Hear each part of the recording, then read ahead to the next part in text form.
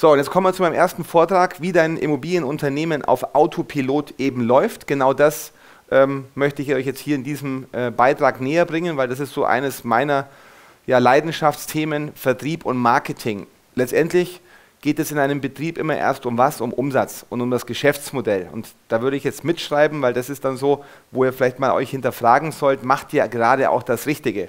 Eine kleine Anekdote. Ich hatte vor acht Wochen zwei junge Menschen bei mir im äh, Büro. Wenn man bei mir Geschäftsführertraining hat, dann hat man so ein, ein, Onboarding und dann analysieren wir so anderthalb Stunden wirklich den kompletten Laden und zerlegen den auch. Zerlegen nicht negativ, sondern wirklich, ich hinterfrage sehr viel. Die sind beide noch beschäftigt und machen Kurzzeitbettenvermietung, haben schon über 100 Betten in der Kurzzeitvermietung, aber verdienen kein Geld damit.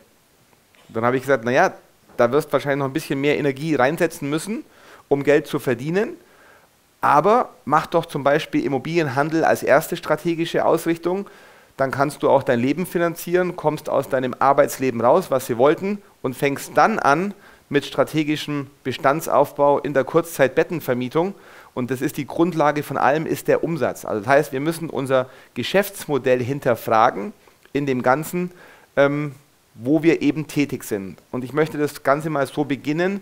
Wie ist denn eigentlich die aktuelle Lage am Markt? Der Raphael hat dazu etwas erzählt und so schlimm, wie es alle sagen, finde ich sie persönlich nicht. Ich finde sie sehr spannend, ich finde sie sehr herausfordernd, man muss Lösungen suchen, aber ich habe es vorhin gesagt, wir haben alle die gleichen Probleme, egal ob groß oder klein. Und wir haben alle einen ganz, ganz großen Vorteil gegenüber den Großen, weil ein Gebiet zu verteidigen ist schwieriger, als ein Gebiet zu erobern. Und das heißt, für uns alle ist momentan die größte Chance am Markt, neue Marktanteile zu bekommen. Ja? Und ähm, die aktuelle Lage am Markt, Corona ist in meinen Augen, auch wenn es immer wieder mal kommt, ist, ähm, ja, wir müssen damit leben. Also das wird jetzt keine Auswirkungen mehr haben. Die Welt ist eine Katastrophe, ähm, zumindest für uns Europäer. Wir haben steigende Zinsen, die sind momentan sehr ja konstant, Lieferketten unterbrochen, das hat sich wieder stabilisiert. Also man hat ja sämtliche Preissteigerungen, Argumentationen nur noch aufgrund von Lieferketten. Alles kam aus der Ukraine und da wurde natürlich auch viel Schindluder getrieben und Menschen haben sich aufgrund dieser Lage auch bereichert. Muss man ganz offen und ehrlich ansprechen. Hat natürlich so ein Thema wie die Lohnpreisspirale. Unser ähm, Bundeskanzler Scholz hat uns ja damals im Wahlkampf, oder nicht mir, weil ich da nichts davon gehalten habe von der Partei, erzählt, dass er für Mindestlohn ist, aber das war alles Lug und Trug. Einfach nur, damit er an die Macht kommt. Weil letztendlich, was er keinem erzählt hat, dass wenn er die Mindestlohne erhöht, dann die Lohnpreisspirale erst einmal nach oben geht. Und wenn ich heute mit meiner Familie am Samstag äh, zum Einkaufen gehe und da 200 Euro in einem Einkaufskorb habe, wo ich früher 80 oder 100 Euro bezahlt habe, dann hilft es dieser Familie, die jetzt anstatt 11 Euro, 12,80 Euro, glaube ich, ist der Mindestlohn bekommen, auch nicht mehr sehr viel. Das heißt, da passiert sehr, sehr viel Schindluder, einfach nur um zu polarisieren. Steigende Inflation, ich glaube, die haben wir im Griff. Der Euroraum fraglich, monatliche Zinskosten schwierig, sehr, sehr viele Bauträger gehen insolvent. Und ähm, wenn ich mit meinen Bankern rede, wir sind auf Vorstandsebene und ich habe eigentlich wöchentlich zu meinen Bankern Kontakt weil wir uns ganz, ganz eng austauschen und ich vor allem den Puls der Zeit hören möchte. Ich möchte, ich frage immer, egal mit wem ich zusammen bin, wie ist bei hier, was ist gerade los? Egal, ob das in einem anderen Gewerbe ist, ich möchte ein eigenes Gefühl für die Märkte bekommen. Ich möchte mich nicht verlassen auf irgendwelche Zeitungsartikel, aber der Banker berichtet, oje, oje, äh, der Druck wird immer größer bei vielen. Und wenn du heute Immobilienhandel betrieben hast auf variable Zinsen, dann hast du ein Problem, weil du dann einfach die vierfach höhere Belastung hast. Und wenn die Leute jetzt einen Fehler nicht gemacht haben, das Geld mit dem Schubkarren rausgefahren, sondern auch mal was auf die Seite gelegt, dann greifen sie gerade ihre Ressourcen an. Und das ist ein Problem und das kann aber auch eine Chance für alle sein, die ja gut gewirtschaftet haben. Und Wirtschaften in der heutigen Lage ist halt auch ein wichtiger Punkt. So, und das ist, glaube ich, das größte ähm, Problem unten, dass Banken keine Finanzierungen mehr so vergeben wie früher und den Käufer finden. Wir müssen alle uns umdenken, wir müssen uns alle heute Lösungen erarbeiten, wie man Käufer findet. Und da hilft uns die digitale Welt extrem. Denn zum Schluss hat ein Satz mein Leben verändert. Euer Verdienst ist daran gekoppelt, wie viele Menschen ihr in eurem Leben helft. Euer Verdienst ist daran gekoppelt, wie viele Menschen ihr mit eurer Produktdienstleistung eben anderen helft. Beispiel. Die Kassiererin vom Lidl, nicht respektierlich gemeint, die macht einen tollen Job, aber die hat halt einfach nur acht Stunden Arbeitszeit und die kann halt einfach nur gewisse Ware drüber ziehen. Der Herr Lidl, Schwarzgruppe, also nicht der Herr Lidl, sondern Schwarz, der hat ein Modell gebaut, der sitzt in einer anderen Perspektive in diesem Unternehmen und hilft natürlich mehreren Filialen, hat viele Kassiererinnen und dadurch hat er extreme Reichweite, weil er die Nahrungskette in Europa den Menschen löst. Und Nahrung ist ein wichtiger Punkt Deswegen hat er anhand dieses Beispiels eine andere Perspektive. Und ihr werdet euch in dem Laufe eurer Selbstständigkeit, Unternehmertum verändern. Das heißt, ihr fangt am Anfang an mit folgender Situation. Ihr fangt als Einzelkämpfer an. Ihr seid der Torwart, der hinten alleine steht. Ihr schaut auf das Spielfeld. Und jetzt müsst ihr auf einmal ganz, ganz viele Dinge in eurem Leben betreiben. Ihr seid am Anfang der Vertrieb, der Marketer, der Personalleiter, der IT-Leiter. Ihr seid der Steuer Berater, Ansprechpartner, ihr seid das Finanzamt, ihr müsst ja all diese Komponenten abdecken. Und das muss man sich mal ja, verinnerlichen. Und wenn man das, ich finde immer so toll, man kann das Ganze auf den Leistungsprofisport vergleichen. Wenn man ähm, den FC Augsburg jetzt mal nimmt, ich nehme jetzt mal nicht den FC Bayern, ähm, kann ich den FC Bayern nehmen oder gibt es hier mit dem FC Probleme? Nein. Gibt es Probleme? Also nehmen wir Augsburg, war unentschieden vor zwei Wochen 1-1, deswegen alles gut. Was passiert denn im Leistungssport? Wenn ein Profiverein einen Spieler sucht, dann beschäftigen die sich extremst mit der Position und mit seinem Können. Und die gehen sogar noch tiefer hinein. Die fragen, wo war der vorher? Wer die David Beckham äh, Netflix-Doku angeschaut hat, Alex Ferguson bericht, berichtet, er hat nur Spieler zu sich in die Mannschaft geholt, die in einem sozial gestärkten äh, Partnerschaftsfeld waren. Weil er wollte nicht, dass seine Spieler äh, Hirnspinstereien haben, irgendwelchen Mädels hinterher mit Testosteron getrieben laufen oder Spielerfrauen, die Spieler vielleicht irgendwie ähm, da umhertreiben. Das heißt, er hat nur Spieler gewählt, wo das soziale Umfeld geklärt war. Problem bei David Beckham war nur, der hat dann, während er bei Manchester United war, sich in die, äh, wie heißt sie? Victoria. Äh, Posh Spice, genau. Äh, okay. Victoria war, genau, doch, die heißt so, stimmt. Ich war jetzt auf Posh Spice. Hat sich dann Posh Spice ins ähm, Nest geholt und dann hatte er ein Problem. Der hat sechs Monate mit ihm nicht mehr gesprochen, angeblich, laut dieser Doku. Also das zeigt, ihr müsst euch klar sein, wenn ihr diese Reise beginnt vom Selbstständigen zum Unternehmer oder vielleicht ist auch der ein oder andere hier gerade am Anfang, dann wird er vor gewissen Herausforderungen stehen und wird einfach extremst sich verändern und anpassen müssen. Und das muss man jetzt wieder vom Thema Mindset her wissen. Nicht jeder will das. Und ihr müsst euch auf eurer Lebensreise hinterfragen, was wollt ihr denn überhaupt und was ist euer Warum? Weil wir alle Menschen haben ein Warum. Und die Immobilie ist nicht unser Warum. Die Immobilie ist der Mittel zum Zweck für das Warum. Wir haben uns den Job Immobilie ausgesucht, weil es uns irgendwo inspiriert, weil es Leidenschaft ist, wenn man sieht, dass etwas entsteht, dass dort etwas gebaut wird. Das sind alles Dinge, die uns persönlich in unserem Leben das Warum antreiben. Ja? Und das müsst ihr euch dessen bewusst sein, da wird Veränderung passieren. Und wenn ihr einen Betrieb, der auf Autopilot laufen soll, bauen wollt, dann müsst ihr von der Pike auf anders euer Mindset verändern. Weil wenn ihr die Dinge so macht, wie ihr sie bisher gemacht habt, dann werden sie auch genau so das gleiche Ergebnis wieder hervorrufen, wie das, was ihr bisher tut. Das ist nicht die Antwort, die ihr hören wollt, aber wenn man etwas Neues im Leben möchte, muss man seine alten Verhaltensmuster durchbrechen. Und das Problem ist, wir wissen alle in unserem Leben, und jetzt aufgepasst, was ich euch sage, und das hat so ein bisschen bei mir meine Denke verändert. Wir wissen alle, wir kommen zur Welt. Was kommt danach? Wir werden gewickelt, wir werden gefüttert, wir lernen zu laufen, zu sprechen, wir werden irgendwann in die Schule gehen, wir werden in die Pubertät kommen, wir werden irgendwann uns mit dem Berufsleben beschäftigen und mit 18 wissen wir was? Ja, manche nicht, okay?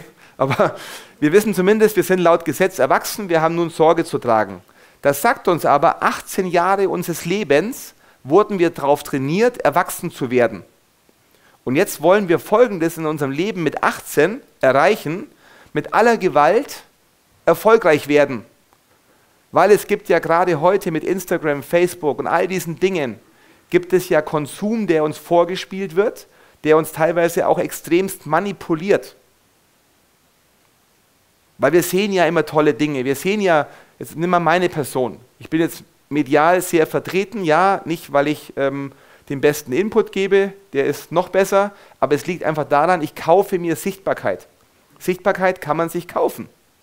Wenn man einfach ein Geschäftsmodell hat, wo genügend Ertrag kommt, könnte mehr Werbung schalten. Mehr Werbung heißt mehr Menschen. Ich erreiche mittlerweile eine Million Menschen mit meinem Instagram-Account jeden Monat, obwohl ich nur 7500 Follower habe. So, das heißt aber, dass uns das ja im Umkehrschluss in eine Richtung treibt, die uns vielleicht von unserem eigenen Leben wegbringt, was wir eigentlich wollen. Und dieser Gefahr unterliegen wir alle. Und das Problem ist, wieder auf dieses Leben zurück, von 1 bis 18 wissen wir, das ist. Wir wissen auch, wir schalten, wir, wir bremsen an der Ampel wo? Rot. Manchmal fahren wir auch bei Gelb vielleicht noch drüber. Aber das sind Dinge, die wissen wir. Und jetzt, wenn ihr ein Unternehmen auf Autopilot bauen wollt, was meint ihr, wie lange der durchschnittliche Aufbau es dauert, um solche Unternehmen, wie wir in der Stadt mit Läden sehen, weil das ist die mentale Verfügbarkeit, die kennen wir alle. Wie lange dauert es, ein Unternehmen so aufzubauen? Sieben Jahre. Bist bei mir im Coaching, deswegen weißt du das. Aber es ist richtig. Es sind sieben Jahre. Wir haben 70, 80 Jahre. Wir müssen 18 Jahre warten, um erwachsen zu werden. Und jetzt sollen wir sieben Jahre irgendwie was tun. Aber es kommt nicht das Ergebnis, weil das Problem ist, und das ist der Trug hier in diesem Raum, wir glauben, alles, was wir tun, hat sofort Auswirkungen auf unser Ergebnis. Unser Handeln von heute bestimmt euer Ergebnis in der Zukunft und euer Ergebnis von heute ist geschuldet eurer Vergangenheit. So, diesen Satz müsst ihr einfach hinterfragen und müsst sagen, okay, bin ich überhaupt bereit? Ich habe es in zwei Jahren geschafft. Man kann es in sieben Jahren schaffen. Das liegt an eurem persönlichen Warum und eures Ehrgeizes. Da müsst ihr aber auch viel zurückstecken. Aber ich will euch einfach mitgeben, ihr braucht eine gewisse Zeit. Ja, ganz, ganz wichtig. So, dann nochmal zurück. Also, was heißt das jetzt für unsere Markenstrategie 2023? Wir müssen uns überlegen, wo ist unsere Cash-Cow? Was ist unser Geschäftsmodell? Wo verdienen wir Geld? Und ganz, ganz viele Menschen haben ganz, ganz viele Hirnfürze im Kopf und lassen sich von ganz vielen Hirnfürzen verleiten. Die ganz tollen Geschäftsideen. Wer kennt Höhle der Löwen? So, wer hat schon angeschaut? So, aber da passiert manchmal Folgendes, da kommen Menschen rein, die sind einfach komplett falsch orientiert. Das sind Investoren, die sagen, ja, das ist eine coole Idee, ich würde jetzt meine Leistung dir zur Verfügung stellen, aber dann kommt die völlige Überschätzung von dieser Idee. Und danach gehen sie leer aus. Das heißt, ihr braucht eine Cash-Cow.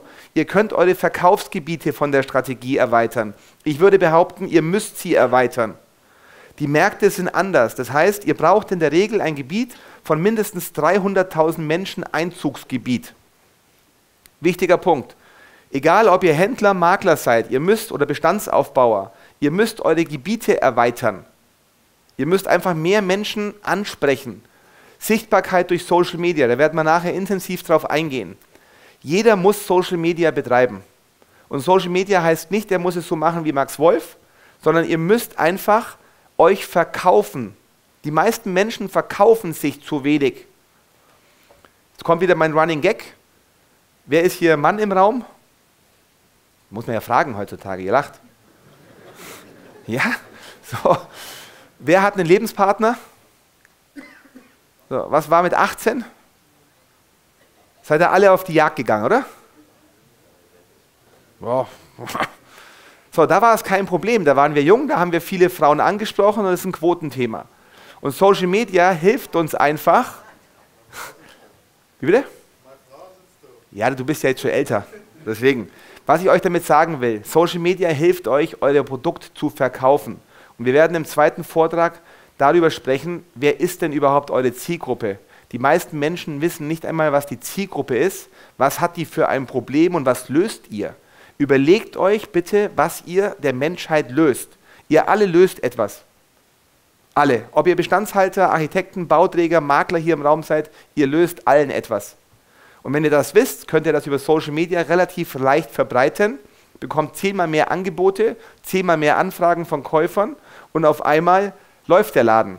Problem ist nur, eure Nachbarn euer Umfeld, die euch belächeln. Die sagen, jetzt fängt die auch noch mit Social Media an, die spinnt doch. Ja? Aber wie das geht, zeigen wir euch nachher. So, geht in Communities, schafft Partnerschaften. Die 10-Jahresfrist kann eine Möglichkeit sein, wenn ihr eine Immobilie im Privatbestand länger wie 10 Jahre habt, Cash-outs zu machen, dann was zu verkaufen, damit einfach die Liquidität aktuell steigt. Sucht ihr Investoren, Finanzoptimierung, schaut eure Kosten an, vertikal und horizontal zu skalieren, da gehen wir nachher noch drauf ein, weitere Standbeine eventuell zu implementieren, aber wichtig ist, nur in eurer Branche. Wir sind alle wegen Immobilien hier. Fangt bitte nicht an, jetzt einen Kiosk aufzumachen, einen Fahrradladen und noch ein Café und ein Restaurant. Sondern ihr müsst die Wertschöpfungskette der Immobilie bedenken. Finden, projektieren, bauen und verkaufen. Und da müsst ihr euch überlegen, wo könnt ihr einen Mehrwert liefern. So, seid euch dessen bewusst, die Immobilie ist nur Mittel zum Zweck. Für uns alle hier. Das ist ein harter Satz. Das soll jetzt auch nicht abwertend gelten, aber es geht immer um euer Warum. Und die Immobilie ist euer Mittel zum Zweck. Bei Schwarzgruppe ist es das Lebensmittel oder die Lebensmittel. Der Lebensmittel, weiß ich nicht. So, das heißt, wir müssen uns überlegen, eine Schablone, die ihr jetzt von mir an die Hand bekommt, die ihr eins zu eins nachbauen könnt. Egal, ob ihr den ersten Mitarbeiter habt ob ihr das alleine machen wollt, ob ihr das mit 10, 50, 500 oder 5000 Menschen machen wollt. Nämlich, das System ist immer das gleiche. Und wie das ausschaut, schauen wir uns jetzt an. Das heißt, jeder geht seinen eigenen Weg. Ich bin gerade darauf eingegangen und ihr habt das Problem, dass ihr nicht wisst, wo steht ihr gerade und ihr kommt vielleicht, wie in so einem Computerspiel, in diesem Schritt gerade aktuell nicht weiter. Deswegen habe ich auch vorhin gefragt, was sind eure Fragen, damit ihr die Lösungen auf eure aktuellen Lebensabschnitte bekommt.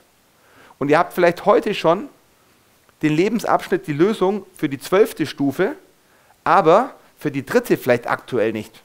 Aber ihr wisst nicht, dass ihr die schon für die zwölfte habt. Ja? Und das ist das Problem, was wir alle in unserem Leben haben. Wir können es teilweise nicht richtig einordnen, weil die Ergebnisse nicht gleich kommen. Und Ergebnisse ist die Befriedigung auf unser Tun. Gerade die Vertriebler unter uns. Wenn bei uns nicht verkauft wird, dann laufen wir amok dann wird man irgendwie unruhig. Aber manchmal ist das halt so im Berufsleben, dann ist es halt. Da muss man wieder gucken, dass es weitergeht. So, das heißt, ich behaupte, anhand eures Einkommens kann man jeden in ein gewisses Umsatzlevel rein manövrieren. Das Leben hat Muster.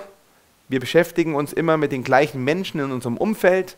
Man erkennt auch an, an einer Person in seinem Freundeskreis, wo er äh, wirtschaftlich, finanziell und sozial steht. Achtet mal drauf, das ist menschlich, das ist ganz normales Lebensmuster. Wir suchen uns Menschen, die zu uns passen.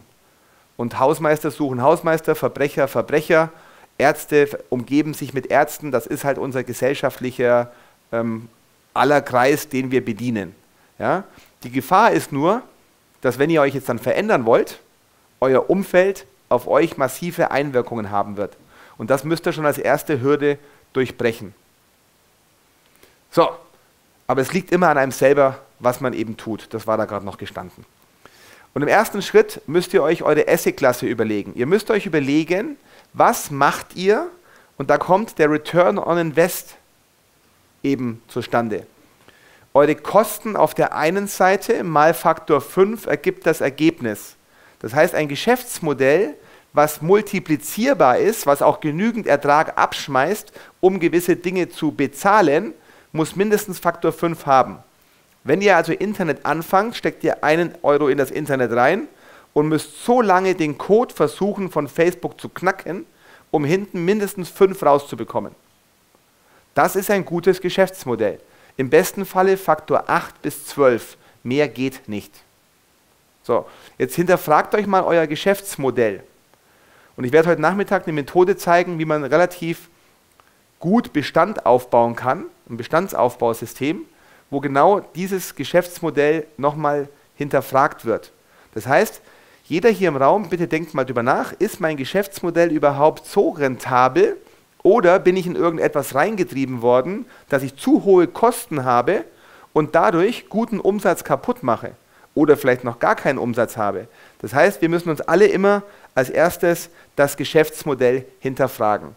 So, und wenn ihr jetzt anfangt, dann habt ihr immer eine Umsatzseite und das ist ganz wichtig zu verstehen. Erst kommt Umsatz, dann kommt Umsatz, und dann kommt lange gar nichts und dann kommt Umsatz.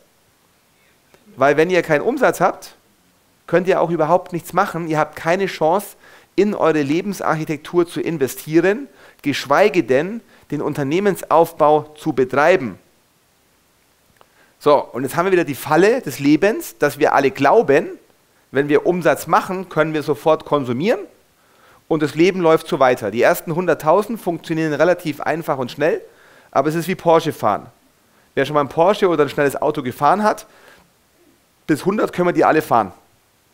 Bei 150 wird es dann schon schwieriger, bei 200 wird es immer dunkler und bei 300 ist dann eh bei vielen vorbei. Und so müsst ihr euch das Unternehmertum überlegen.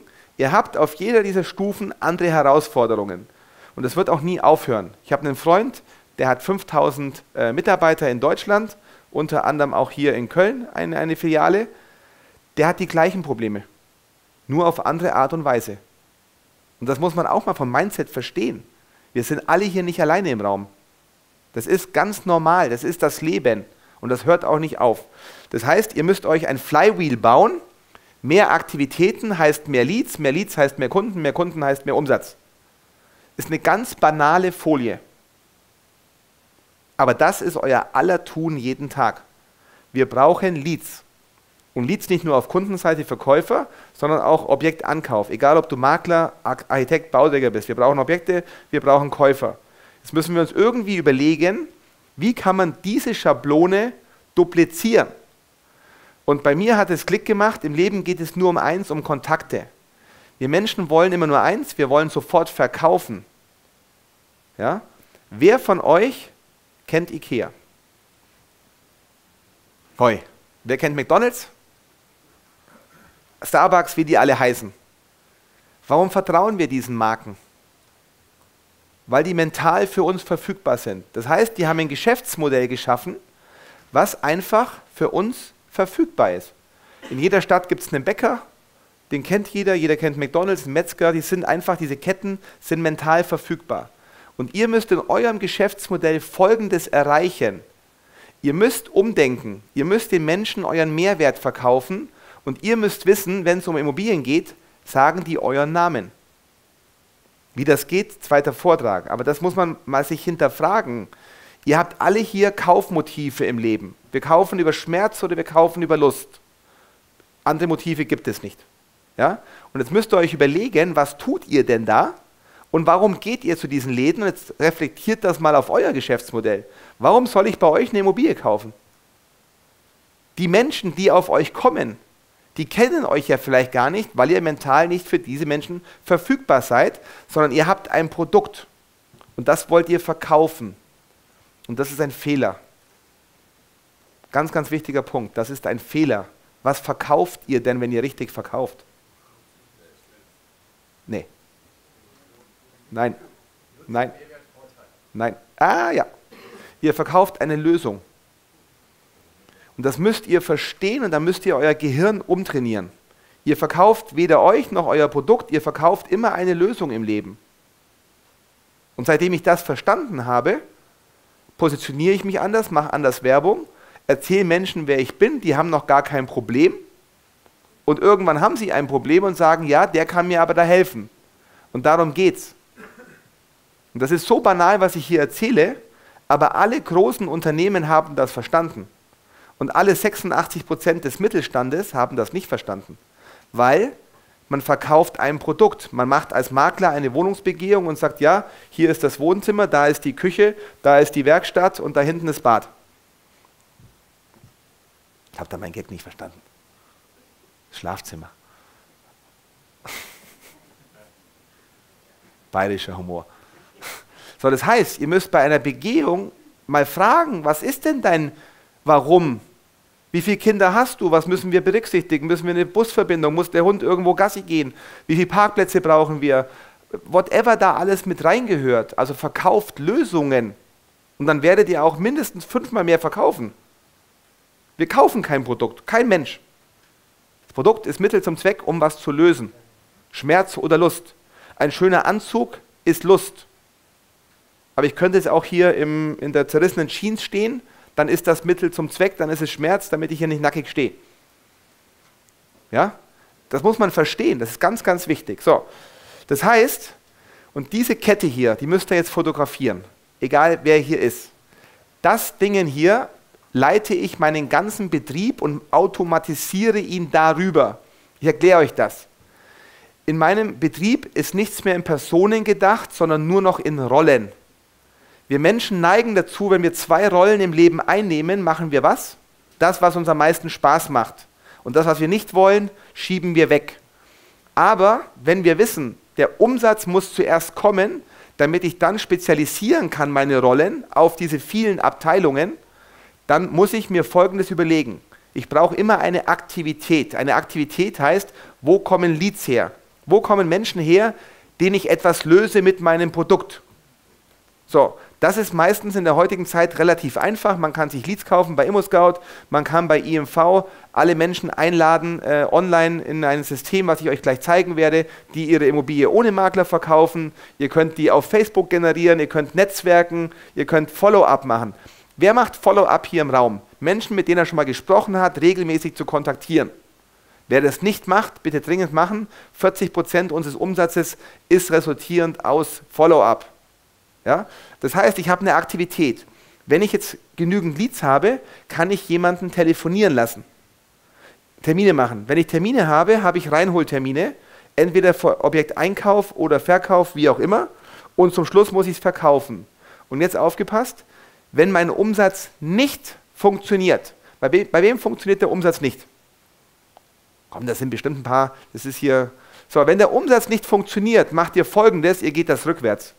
Ich habe jeden Morgen um 8.30 Uhr bis 9 Uhr mit allen unseren Vertriebsabteilungen ein Meeting. Da passieren parallel drei verschiedene Meetings. Da geht es nur um diese Kette. Wie viel Aktivität hatten wir heute, morgen, übermorgen und gestern? Wir schauen den Umsatz von gestern an, heute, morgen, übermorgen. Weil wenn ich ein Team irgendwann habe, kann ich die terminieren. Wir wissen, bei uns kann der Vertrieb am Tag sechs Verkaufslots machen. Das heißt, der Terminierer muss sorgen, dass der Reinholer sechsmal am Tag spricht. Rückwärts gedacht, kein Umsatz heißt, warum kein Umsatz? Naja, weil wir nicht genügend Reinholtermine haben. Reinholer, warum hast du nicht genügend Termine? Ja, weil ich keine von der Terminierung bekomme. Terminierer, warum machst du nicht genügend für den Reinholer? Ja, weil ich keine Leads habe. Das heißt, ihr seht mit einem Blick, wo die Prozesskette im Umsatz in eurem Betrieb bricht. Das heißt, ihr müsst nur zwei Dinge berücksichtigen. Die Kette zu verstehen und aufhören, dass einer alles macht. Immer in Rollen denken. Weil dann könnt ihr einen Systemvertrieb bauen, der nicht auf Zahlen, Daten und Fakten, äh, nicht auf äh, Zufall gebaut ist. Weil wer kennt das? Du sprichst mit deinem Vertriebler, ah Max, der Markt ist ganz schlecht. Und gestern bei dem Besichtigungstermin, da war dann die Katze da, die ist umgefallen, musste man reanimieren und dann bin ich nochmal runter zum nächsten Termin, der war gar nicht da und dann war das. Und du denkst dir, blöd. Ja? So, wenn du aber einen Spiegel vorhalten kannst und kannst sagen, hey, pass mal auf, jetzt kommen wir nämlich gleich in das Tracking. Lieber Reinholer, du hast zwölf Termine gemacht, aber du hast keinen einzigen Auftrag geholt. Der kann sich nicht mehr ausreden. Und wenn er zwei Rollen macht, redet er sich aus, dann sagt er, ah, ich musste aber gestern noch die Ablage machen. Ja, also Rollen, ganz, ganz wichtig und diese Kette wiederholt uns jetzt immer mehr und mehr. Das sind die Abteilungen, was ihr alles seid. Ihr seid administrative Recht, Wissen, ihr müsst das Fundament bauen mit irgendwelchen Stellenplatzbeschreibungen, Organigrammen, ähm, Unternehmensphilosophien und Kulturen. Ihr müsst Prozesse bauen, ihr müsst verkaufen, ihr müsst Kundenabwicklung, Finanzen, Personal, Marketing, Controlling, IT und erst dann kommt das Thema Digitalisierung. Die meisten Menschen machen folgenden Fehler. Die fangen an, sofort zu skalieren und zu ähm, digitalisieren, aber haben die Dinger unten dran nicht. Und wenn ein Haus nicht auf einem sauberen Fundament steht, dann wackelt es. Und denkt wieder, wie lange es dauert, einen Betrieb aufzubauen. Meine ersten zwei Jahre. Ich hatte zwei Mitarbeiterinnen. Ich habe nur an dem Fundament gearbeitet. Ich habe nicht skaliert. Und wir sind jetzt bei Bricks Mortars so weit, dass wir ab Januar ähm, eskalieren können. Wir können bis zu 50 Partner pro Monat ans Netz nehmen. weil das Geschäftsmodell funktioniert, weil jeder mehr hat wie vorher und weil die Prozesse definiert sind. Und wenn ihr jetzt schaut, das hier ist eure Gründung. Die habt ihr alle wahrscheinlich hinter euch. Ab hier Fundament bis Prozesse, das ist das Fundament. Und dann kommt Sales und dann kommen erst die anderen Sachen. Also bis hierhin sind wir nur beim Umsatz, an dem wir jeden Tag arbeiten müssen. Und wir müssen erstmal beweisen, dass wir regelmäßig Umsatz machen. Wir müssen Mitarbeiter einstellen, müssen mit denen ein bisschen rumhantieren, äh, müssen uns auf die persönlichen ähm, Herausforderungen dort einstellen und, und, und. Aber das ist der Turmaufbau, wie ihr ein Unternehmen aufbaut, damit es auf Autopilot läuft. Und jetzt sagen viele schon, um Gottes Willen, was muss ich denn da alles machen? Das ist halt leider so. Sonst wird es nicht funktionieren. Wenn du einen dieser Bausteine nicht berücksichtigst, wird es nicht funktionieren. Und diese PTCR-Methode, bei uns ist folgendes, und jetzt kommt der, die Antwort auf deine Frage, wie kommst du aus dem Unternehmen raus und wie kann ich mein Unternehmen automatisieren? Nur durch Prozesse.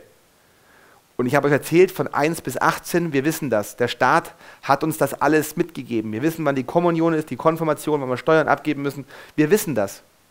Aber in eurem Betrieb müssen eure Mitarbeiter wissen, was ihr zu tun habt als Mitarbeiter. Das ist nicht dem Zufall überlassen, sonst werden die ihre eigenen Dinge dort rein interpretieren und ihr habt die Probleme. Und dann kommt diese Achterbahnfahrt. Ein Jahr gut, ein Jahr schlecht, ein Jahr gut, ein Jahr schlecht. Das heißt, wir bringen bei uns im Unternehmen alles in einen Prozess, P, T wie Training, wir nehmen alles auf Video auf.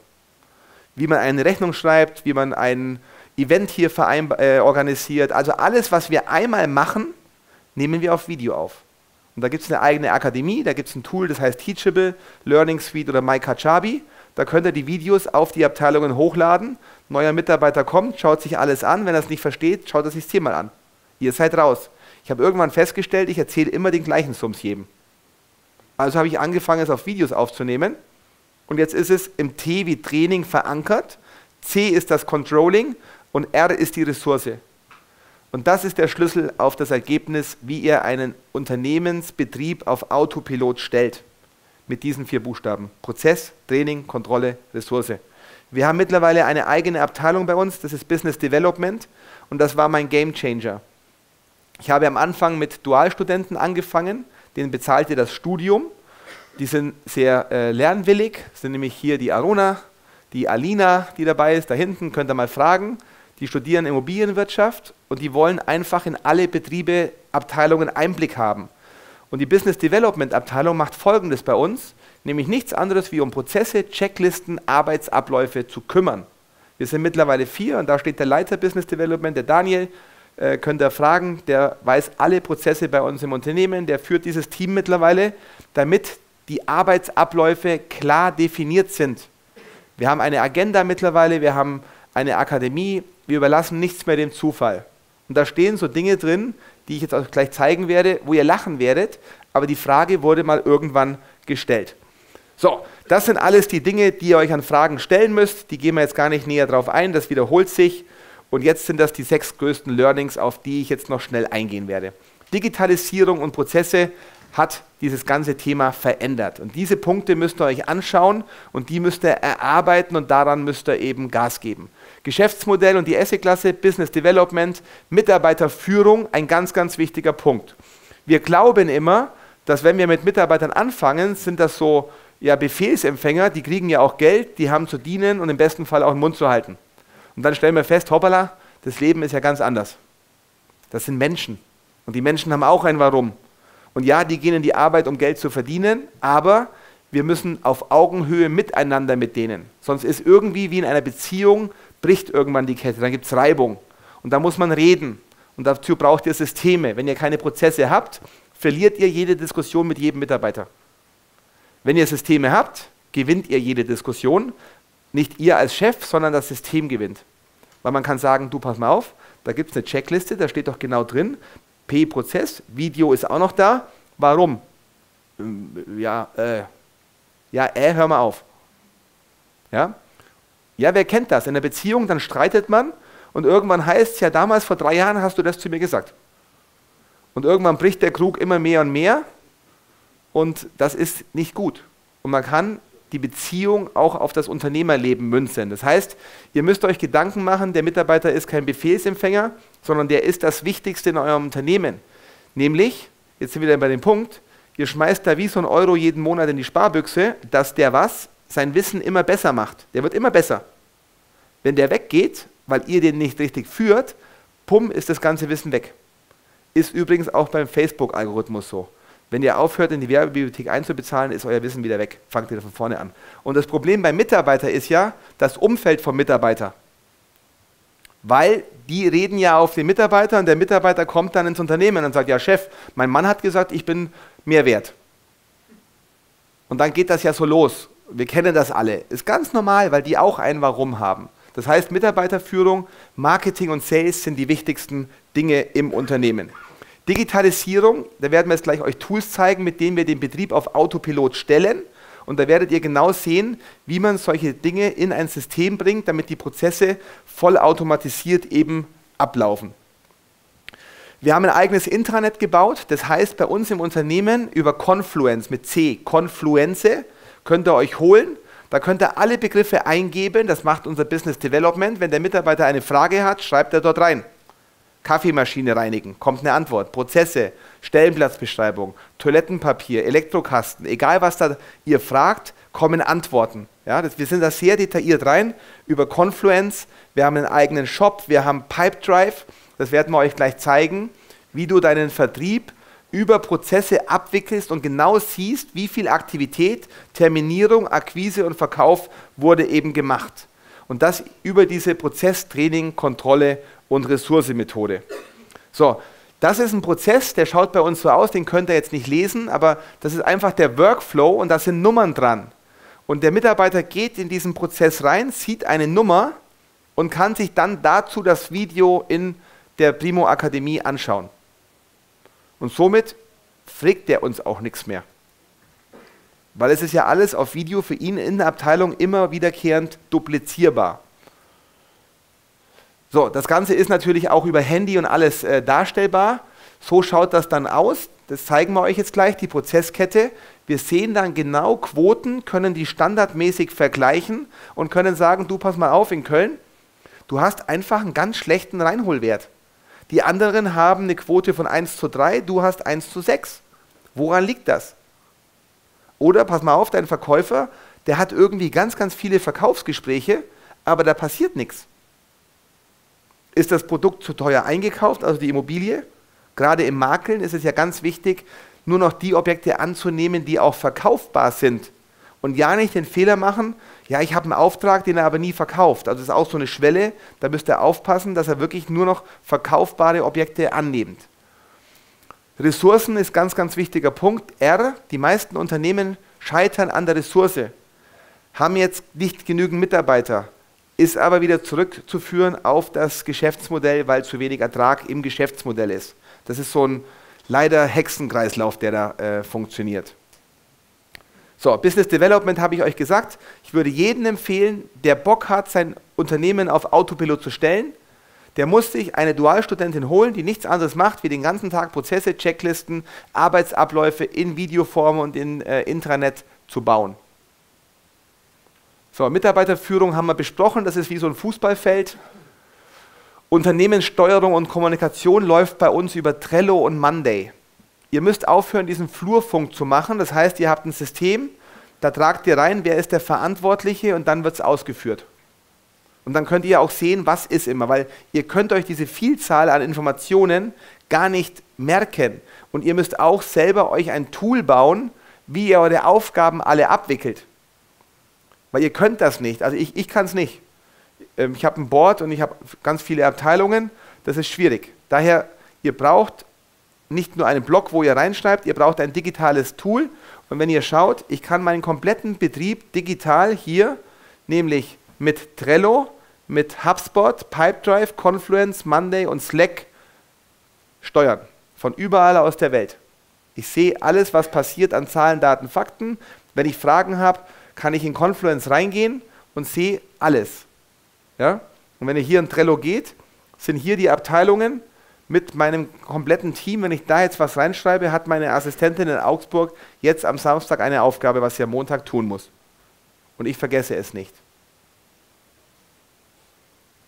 So, wir steuern die Kalender, indem wir Zeitslots in Rollen geben, sechs Stück am Tag. Der Terminierer hat die Aufgabe, den Reinholer in der Prozesskette zu terminieren.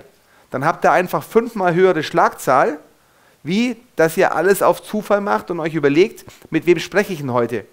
Denkt wieder an meine Lidl-Story. Ihr müsst euer Geschäftsmodell mehr Leuten zur Verfügung stellen. Das sind dann KPIs, wo wir genau wissen, so und so viele Ersttermine haben wir versendet, so und so viele Rückläufer, Ersttermin, Zweittermin, Auftrag. Und dann können wir diese Kette uns anschauen. Das ist Excel, so haben wir angefangen. Und jetzt würden wir euch dann live das Ganze eben zeigen, ähm, wie das Ganze funktioniert. Das Marketing machen wir nachher. Vertriebs- und Finanzcontrolling zeige ich euch gleich. Ja? Das heißt, ich würde jetzt mal bitten, die Arona auf ihren Laptop umzustellen. Muss ich da irgendwas verändern, David? Und dann zeigen wir euch das. Machen einfach mal Trello als Beispiel an oder Monday. Fangen wir damit an. Und wenn ihr Fragen habt, fragt jetzt bitte, dann machen wir Pause, ja? Das heißt, ihr braucht ein Tool, um eure Arbeitsabläufe zu hinterfragen. Das heißt jetzt nicht, jetzt sitzt der eine oder andere vielleicht hier und sagt, boah, ist mir alles zu doof, ich habe einen Mitarbeiter, gar keinen Mitarbeiter.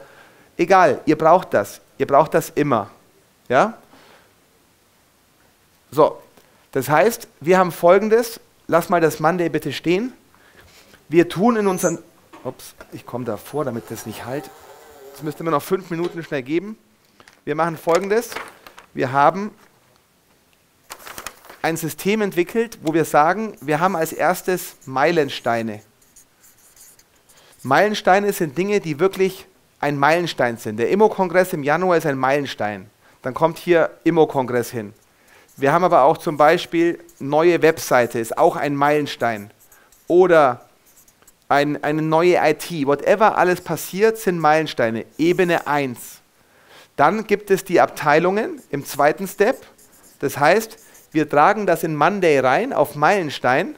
Dann wird dieser Meilenstein in die Abteilungen, weil es kann ja sein, Immo-Kongress ist die Abteilung Marketing, da ist Sales dabei, da ist dabei äh, Eventabteilung, whatever. Das heißt, da wird das reingetragen und wird nach unten transferiert und dann tun die Abteilungen, die Mitarbeiter die Aufgaben vergeben. Und umgekehrt wissen wir alles vom System her, wo stehen wir in diesen Meilensteinen. Das kann euch Monday abwickeln. Und das Monday schaut so aus, das ist jetzt das Board vom Business Development. Ihr habt die Ebene der Abteilung hier Ihr seht genau, welche To-Dos sind zu machen, welcher Person, mit welchem Datum. Aruna, tu mal nach Datum bitte sortieren. So, das heißt, der Mitarbeiter sieht auf seiner Liste, wenn er da oben auf meine Arbeit geht, geh mal auf deine Arbeit, auf meine Arbeit links oben, was sind der Arona ihre Aufgaben nach Datum sortiert. Und jetzt weiß sie einfach vollautomatisch, ich brauche nicht den zwölften Schritt machen, eine Software-Zugangsliste national zu bauen, weil ich habe ja am 18. September die Mailadressen definieren. Und so ist der Mitarbeiter auch immer abgeholt in dem Meilensteinsystem da oben. Was sind die nächsten Steps, um das zusammenzuführen im Unternehmen? Für euch, wenn ihr das nicht machen wollt, ihr braucht eine Meilensteinliste. Eine Meilensteinliste heißt, was sind in eurem unternehmerischen Leben die nächsten strategisch wichtigen Schritte? Und ihr als selbstständiger Unternehmer, ihr habt die Aufgabe, euer Leben zu entwickeln. Ein Angestellter kann in die Arbeit gehen und kann sagen, was mache ich? Ein Selbstständiger braucht eine Strategie, was er tun muss. Ihr könnt nicht einfach nur in der Früh in die Arbeit gehen und es wird schon irgendwas passieren, sondern ihr müsst an eurem Unternehmen arbeiten. Und das klappt mal mehr oder mal weniger, auch bei uns. Das heißt, nach diesem System baut euch eine, ihr könnt auch eine To-Do-Liste euch bauen. Und ich mache folgendes, wenn ich im Auto eine Idee habe, schicke ich mir eine eigene E-Mail, dann kommt die E-Mail am Abend bei mir an, dann verteile ich die auf Trello im ersten Step, so habe ich es früher gemacht. Heute arbeite ich nur noch mit Monday. Für euch reicht Trello, ist kostenlos. Da könnt ihr euch eigene Boards anlegen, Aufgaben verteilen. Ab dem ersten. Nämlich ab du selber. Kein Mensch hier im Raum, der eine ist vielleicht ein bisschen besser in der Orga oder schlechter, kein Mensch hier im Raum kann alles immer dauerhaft dran denken. Das geht nicht. Also den, den möchte ich kennenlernen, der das kann. Und dann soll er noch seinen privaten Bereich managen, dann soll er noch irgendwie inspirituell und was alles dazu kommt. Beziehung. Ja? Also, das ist Monday nach diesem System. Gehen wir bitte ins Trello. Trello ist ganz einfach aufgebaut. Ihr könnt euch Karten selber anlegen da oben und könnt die Unterpunkte reinschreiben und könnt dann die Leute zuweisen. Ist kostenlos. Ich kann jetzt hier auf dem Handy auf dieses Board, das sind meine Boards, gehe ich da rein und habe dann die gleichen. Wie baue ich so ein Board auf? To-Do in Bearbeitung, Rückfrage, Freigabe erledigt. Ich wiederhole. To-Do. Was ist euer To-Do? Was wollt ihr machen? In Bearbeitung, da schiebt ihr oder der Mitarbeiter das rein, schiebt mal ein so eine Karte weiter, dass man diesen Workflow sieht. Dann schiebst du es einfach so rüber. Du nimmst so eine Karte, nimm mal eine Karte in die Hand und irgendeine nur mal kurz. Du nimmst die und jetzt schiebst du die theoretisch da oben auf in Bearbeitung. Das ist aber ein anderes Board. Wieder zurück, dass ja nichts passiert. Tu es wieder dahin, wo es hergehört. Also, ja, also To-Do in Bearbeitung, Rückfrage, Freigabe erledigt. Dann wisst ihr immer, wo eure Arbeitsschritte sind. Und wenn ihr eine Rückfrage haben, stellen Sie es euch auf Rückfrage. Wer kennt es, dass jeden Tag die Mitarbeiter ins Büro reinkommen? So nach dem Motto, hat der Chef nichts zu tun, aber Hauptsache ich beschäftige ihn mal. Ist gar nicht böse gemeint, das ist geschuldet eurem System, weil keine Systeme vorhanden sind. Deswegen kommen die zu euch. Ja? Trello. Nächstes machen wir mal Confluence auf. PTCR, Prozess, Training, Kontrolle, Ressource. P ist der Prozess, das ist Confluence. Gehen wir bitte auf Bereiche. Das sind die jeweiligen Bereiche des gesamten Unternehmens. Jetzt gehen wir auf Coaching als Beispiel da. Dann geht links für den Mitarbeiter sein Bereich auf. Der Mitarbeiter sieht nur seinen linken Bereich, hat eine Stellenplatzbeschreibung. Geh mal da drauf bitte. Jetzt sind da seine alle Stellenplatzbeschreibungen. Geh mal auf Manu. So, jeder Mitarbeiter hat bei uns eine Stellenplatzbeschreibung, wo genau definiert ist, was macht er, Arbeitszeit, Vorgesetzter, Hauptaufgaben, Nebenaufgaben, Mitarbeiter hat unterschrieben. Das ist der Mano, ist der auch hier im Raum, der steht draußen. Wenn der seinen Job nicht ausführt, sage ich, Mano, du hast doch eine Stellenplatzbeschreibung in deinem, da steht doch, du hast doch das unterschrieben. Äh, ja. Warum machst du es dann nicht? Ja, weiß ich auch nicht. Ja? So, ihr müsst einfach Argumentationen bauen. Geh mal da oben in das Suchfeld ein, Aruna. Prozesse. Ich suche einen Prozess, ich bin unterwegs, ich weiß nicht, wo der liegt, gehe mal auf Mitarbeiter Recruiting, klick da drauf, der liegt in der HR-Abteilung, der Prozess ist niedergeschrieben, ich kann dann sofort verlinken. Gib mal oben Toilettenpapier bitte ein. Ja, ihr lacht. Die Frage war schon mal. Geh mal auf Elektrokasten. Wie bestelle ich Visitenkarten? Alles ist dahin. Das ist der Elektrokasten mit Telefonnummer, kann man anrufen, wenn auf Toilette nachts der Strom ausfällt. Ja, ihr lacht, aber das sind ja genau die Dinge. Noch eine Kaffeemaschine. Wenn ihr zu uns ins Unternehmen kommen solltet, haben wir Handys, wir haben NFC-Chips, die könnt ihr an die Kaffeemaschine hinhalten, gehen Video, Erklärvideos auf. Mach mal bitte den Ton an, David. Ähm, die Milch ist leer, kein Cappuccino mehr. Aufgepasst.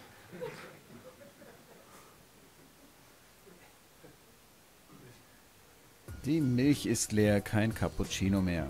Ganz einfach, im Kühlschrank ist ein Karton Milch, der ist wahrscheinlich leer. Bei dieser Gelegenheit können wir auch gleich das Röhrchen noch reinigen. Wir nehmen uns aus dem Kühlschrank eine neue Milch, stecken Ihr lacht, das, das kam auf. alles vor. Röhrchen ich habe keine Lust mehr, dass mich die Menschen über Milch ansprechen. Also nimm dein Handy, halt das dahin, schaust dir aufs Handy an, Kaffeebohnen, Behälter leeren und all was es ist. Und das macht Business Development. Und das macht Arona, Alina, Daniel. Und somit kriegt ihr euren Betrieb auf Autopilot gestellt. Ja?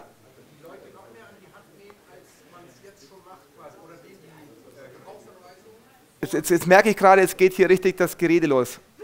Da hinten heißt, oh, mache ich nicht, oder? Bei uns macht man kein Kärtchen abarbeiten. Wir haben Leitfäden, ja, die haben wir. Aber ich als Chef will eins in meinem Sales erreichen. Aktivität, Terminierung, Akquise, Verkauf. Ich will genau wissen, mit welchem Leitfaden machen die das Ganze. Weil Verkaufen ist Lösen. Und du zeigst in einem Verkaufsgespräch Folgendes immer auf. Problem, Lösung, Ergebnis. Wenn wir gleich über Marketing sprechen, jeder Werbeanzeige im Fernsehen ist so aufgebaut. Kennst du folgendes Problem? ich habe die Lösung, zukünftig wird es dir das und das bringen. Ja?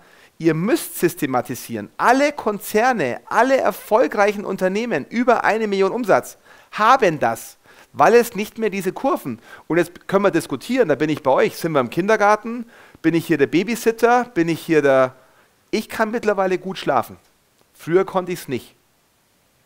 Ich, ich kenne deine, ich, ich, akzeptiere auch deine Meinung, weil du gar so... Also nochmal, um das auch, um das auch nochmal zu unterstreichen, also bei uns arbeitet keiner Kärtchen ab, weil folgendes passiert ja. Vertrieb ist messbar und Zahlen lügen nicht. Keine BWA, kein Kontostand lügt. So, das heißt, wenn der Kärtchen abarbeitet, fällt das auf, weil spätestens nach dem achten Mal Kärtchen abarbeiten wird der Vertriebsleiter fragen, ja, arbeitest du nur Kärtchen ab, weil irgendwie hast du keinen Erfolg. Und nur dich beschäftigen zu lassen, tun wir nicht. Ja? Du kannst einfach komplett dein Blutbild erkennen. Wer war schon beim Arzt? Alle. So, aber du gehst ja auch nicht zum Arzt und sagst, wenn der, Fra der Arzt sagt, wo tut's weh? Ja, sage ich Ihnen nicht. Ja, ihr lacht, aber das ist Unternehmertum. Viele akzeptieren das, was sie jeden Tag da machen. Ich möchte das nicht akzeptieren. Ich möchte in der Früh in meine Firma gehen und ich möchte am Monatsende wissen, ich habe jeden Monat 250.000 Euro Fixkosten in meiner Firma, die müssen bezahlt werden. Und dann möchte ich nicht am 28. mir überlegen, jetzt fehlen noch 200.000. Weil dann könnte ich nicht mehr schlafen. Also, ich will jetzt die Diskussion gar nicht führen, die müsst ihr selber für euch entscheiden. Ich kann euch nur die Lösung zeigen, wie es funktioniert. Und das ist nicht meine Meisterleistung, dieses System, sondern dieses System ist in jedem Unternehmen installiert, was größer eine Million Euro Umsatz ist. Und ich gebe euch recht, ist es meine Aufgabe, einem Mitarbeiter zu erklären, was er zu tun hat. Aber jetzt sind wir wieder bei der Evolutionsgeschichte von ersten Lebensjahr bis zum 18. Da werden wir ja auch ausgebildet und wissen, mit 18 sind wir erfolgreich, dass wir erwachsen sind. Ihr müsst entscheiden, ihr seid Unternehmer, Selbstständige. Wie weit treibt ihr euer Warum? Ich kann das nicht beeinflussen. Ja? Gleich die Fragen noch zurückstellen, noch einmal Pipedrive zeigen. Wir sehen im Arbeitsablauf, das ist Pipedrive, wie unsere Statistiken sind. Nämlich, wir haben 25.000 neue Mails Aktivität nicht erreicht, erste Anfrage gesendet, zweite Anfrage, dritte Anfrage und dann geht es hier weiter bis zum Ergebnis, was haben wir gewonnen? 137 Aufträge. So, und jetzt kann ich wieder rückwärts gehen. Umsatz, wie viele Reinholtermine, wie viele Terminierungen, wie viel Aktivität. Ich kann mit jedem Kärtchentreiber jetzt, das Wort gefällt mir, mit jedem Kärtchentreiber in die Diskussion gehen und gewinne sie, weil Zahlen lügen nicht kann sagen, du arbeitest nur ab, du bist einfach nur hier, um beschäftigt zu sein, anwesend. Du wirst aber nicht für Anwesenheit bezahlt, sondern für Ergebnis. Und das zeigt das Ding hier wieder. Pipedrive und was noch geil ist am Pipedrive, geht mal bitte auf Aktivitäten. Äh, links, nee, nee, links, links, links raus. Nee, Aktivitäten, wo die Mitarbeiter die Aktivitäten sehen. Weiter, weiter, weiter. Da. Das System sagt jetzt auch noch, wen du morgen anrufen musst, um dein Follow-up sauber zu betreiben. Rot ist, die müssen angerufen werden. Grau ist, die kommen morgen in das Follow-up. Grün ist, die sind erfolgreich. Das heißt, das System sagt euch im Vertrieb und euren Mitarbeitern, wer wird jetzt aus Wiedervorlage abgerufen. Wir haben mittlerweile einen Datenpool von 60.000 Menschen. Ich kann nicht garantieren, dass ich 60.000 Menschen erreiche. Das System garantiert mir, dass wir mit all unseren Kunden regelmäßig in Kontakt bleiben. Pipedrive. Ja? Und das sind die Antworten auf deine Fragen.